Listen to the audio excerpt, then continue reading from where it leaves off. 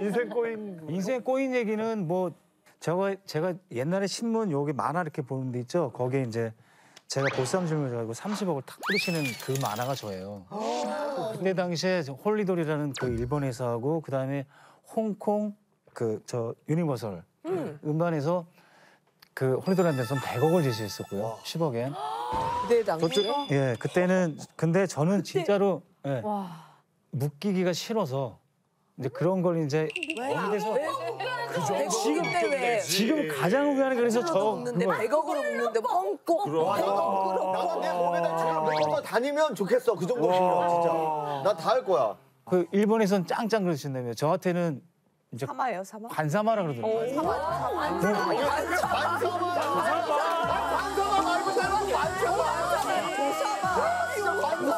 조사마라고는 안 해요. 조사 아 조사마라. 가운데 자로 하는데 우사마 아 관사마 여자분이 있었어요.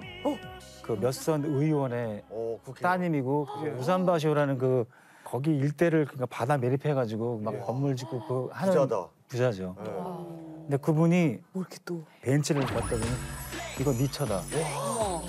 너무 좋아. 뭐 이건 다 뭐 시기에도 뭐 막 그런 선물하면서 근데 그런 거에 저는 이렇게 안 빠지려고 했어요. 빠져야지 근데 그때 진짜.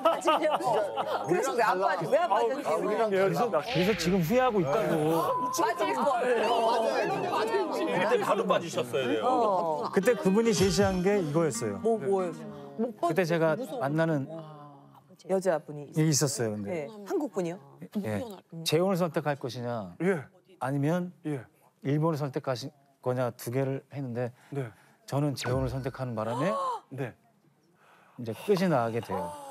아 사랑을 선택했네 사랑을 진짜 사랑을 다 사랑을 다- 선택하셨네